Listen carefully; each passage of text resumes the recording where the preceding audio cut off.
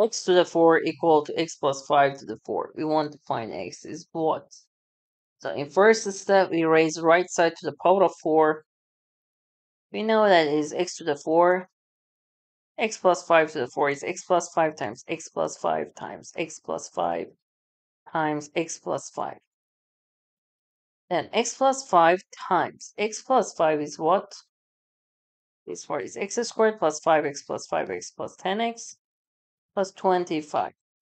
The next term also is x squared plus 10x plus 25. Now, if you multiply all of them, it will be x to the 4. x cubed will be x squared 10, x squared 10, 20x cubed. Okay, for x squared, you have 25 plus 100 plus 25.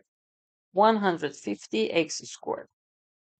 4x, 250 plus 250 will be 500x.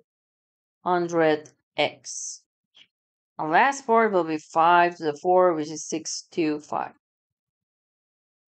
Now we cancel equal terms, x to the 4, and let's see, we can divide both sides by what? If we divide both sides by 5, 5, yes, 5. 0 equal to 4x cubed plus. If we divide by 5, it's 30. 30x squared plus 100x plus 125. Now, it is a cubic function. We need to find at least one root. If we pay attention here, the midpoint of these points. If x equal to negative of x plus 5 means x equal to negative 5 over 2, both sides will be 5 over 2 to the power of 4. So we can factorize. The one factor is that will be x plus 5 over 2 minus minus 5 over 2 times 4x squared will create 4x cubed. Then we have 2 to 10x squared.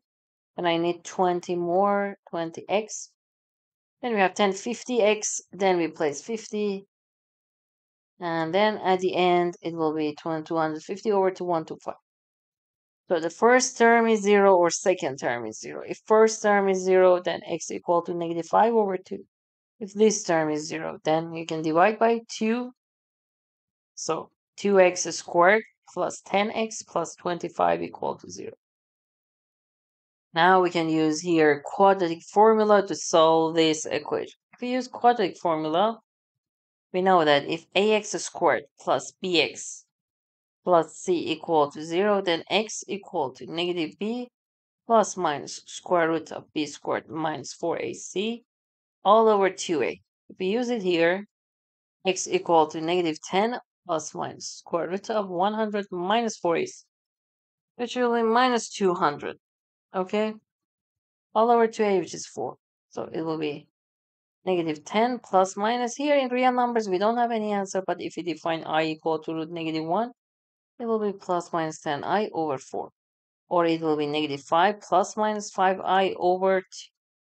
Here it was x, and we found two other answers. So in general, we found three answers for x. Negative 5 over 2, negative 5 plus minus 5i over 2. If you had questions, send message to my WhatsApp number, and please don't forget to subscribe. Turn on the bell and like the video. Thanks. Bye.